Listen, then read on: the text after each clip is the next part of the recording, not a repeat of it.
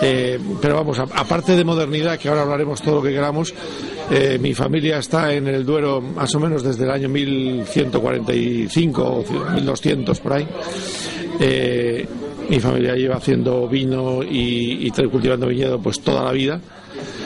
Toda la vida digo de los últimos 800 años. Eh, y Matarromera la, la, constituyo yo en el año 1988 con un concepto totalmente distinto. Lo que había entonces eran bodegas metidas en la tierra, normalmente sin marca, vinos con eh, tintos con, poca crianza y eh, sin embargo en la zona había ya una gran eh, trayectoria y sobre todo una gran demostración de unos una potencial de hacer vinos de, de calidad y de guardia extraordinarios. ¿eh? Sobre todo porque había una bodega, y es, y hay, que ha sido señera en, en, España, que se llama Vega Sicilia, que está en este pueblo, ¿no? en el pueblo exactamente de Valbuena.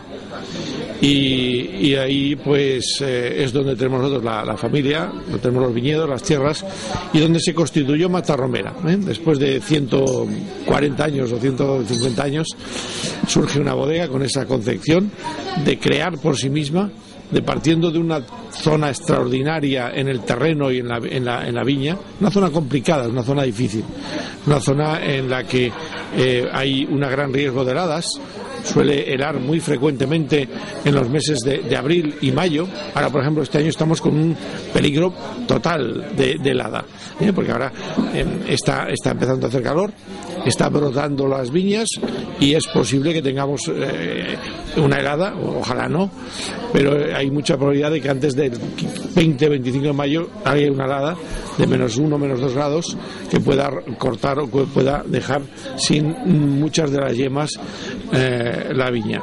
Eh, eso lo que redunda al final es en calidad, que al final siempre estamos eh, teniendo un, nivel de, de, reducción de cantidad con un máximo de, calidad y, luego, sin embargo, es una época, es un terreno que en verano hace mucho calor y da lugar a una buena maduración con poca cantidad y a unos vinos excelentes. Por lo tanto, las condiciones edafoclimáticas del entorno ya son de por sí extraordinarias, ¿no?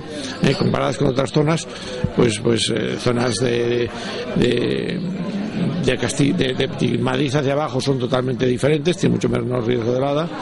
Eh, aquí tenemos eh, un, cambio de temperaturas de noche a día extraordinario que da lugar a, uvas de, gran intensidad, de gran fortaleza, de unos ollejos muy, muy estructurados, muy fuertes, que al final son con mayor contenidos en eh, taninos, en polifenoles, etcétera. También pasa esto en, esto pasa en la tempranillo, que es la variedad reina, allí llamada tinto fino y también pasa en, en, la verdejo, que es la, es la reina de la uva blanca, ¿eh? asentada y acomodada en la zona de rueda. Nosotros, por tradición, hemos estado presentes siempre en la zona de denominación de origen Ribera Duero, con tres bodegas, Matarromera, Emina y Rento. ¿eh? Y en la zona de Cigales, donde también fue mi, mi, abuelo, eh, donde está la zona de Cigales, denominación de origen Cigales. Una zona extraordinaria, menos conocida, público la conoce menos, pero con un potencial eh, y con una calidad eh, extraordinaria. Y luego eh, también estamos con la denominación de origen rueda, con la bodega de, de, de Medina del Campo, y la denominación de origen toro. Estamos con unos vinos de, de toro en la, en, el, en la zona de Valdefinjas, donde hay también otra bodega, Numantia Termantia, es bastante conocida porque la compró recientemente el grupo Louis Vuitton Moët Chandon y Cian la compramos nosotros, la compró el grupo Matarromera, un poquito antes. Eh, es una zona interesantísima de vinos eh, tintos de más todavía extracto, más fuerza, más color, eh, que, con una adecuada crianza pues da lugar a unos vinos de calidad. Ese es nuestro ámbito de, actuación, esa es, nuestro, es nuestra tradición, esa es nuestra historia y esa historia se vierte a una gran modernidad. Primero a ser el grupo líder en cuanto a posición y, número de bodegas y calidad conjunta de los vinos en, en, en Castilla y León y en, bueno, yo diría que en España también. Y, y luego, eh, en segundo lugar, porque hemos, contando con toda la tradición, con toda la historia, con una tierra fantástica, apostado por la tecnología, por la calidad, por la, por la enología. Nosotros estamos trabajando nueve enólogos en el grupo. Eh, yo coordino eh, a todos ellos.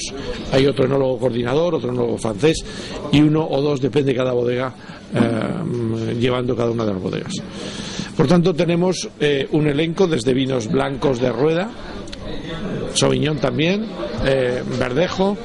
Eh, tenemos unos muy especiales que son los Chardonnay más occidental de Europa, en el Valle del Duero.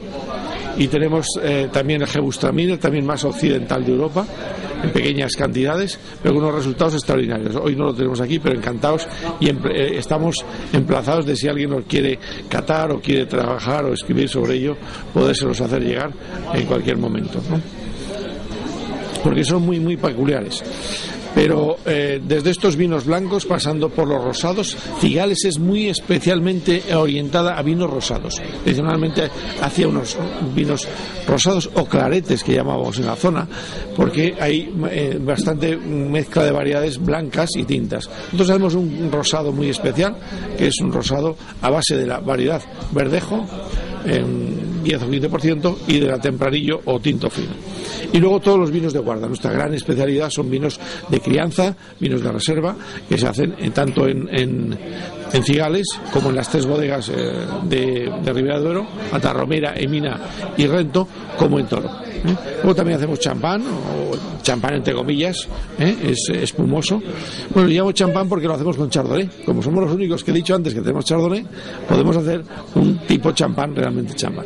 Y un tipo porto también, vino porto fortificado, el único tipo porto de la zona del Duero español. Ese es un poco el elenco de variedades. Y luego eh, nuestra línea de investigación y de mejora de los vinos nos ha llevado a conocer y a, manejar prácticas que se utilizan fuera, en el exterior, sobre todo en Estados Unidos, en los países del Nuevo Mundo, eh, para la deconstrucción o, de desalcoholización de los vinos.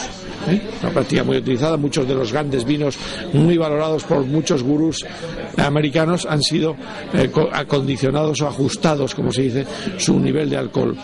Nosotros lo utilizamos para que en Emilia se hiciese la aprobación de la práctica en Europa. Europa es más tradicional, es más conservador, y hubo que hacer toda una serie de, actividades para aprobar la, práctica enológica de la desalcoholización y después seguimos trabajando con ella hasta conseguir vinos de menos de un grado, los vinos Eminasin, y de cero, cero grados y cero alcohol y cero calorías, los vinos Emina, Emina cero, y también con la marca Melior eh, cero. Eh, ese es un poco así el, panorama muy muy rápidamente porque yo creo que, que la hora que es eh, está invitando a catar muy rápidamente los vinos. Son al final los que los que pues eh, muestran todo lo que estamos hablando. Nosotros tenemos 415 hectáreas de viñedo repartidas en todo el Duero. Nuestro ámbito de actuación es desde el pueblo de, de Valbuena hasta el pueblo de Valdefijas ¿eh? estamos en 22 pueblecitos pequeños y, y tenemos pues ese elenco de variedades. También tenemos aceite de oliva, 80 hectáreas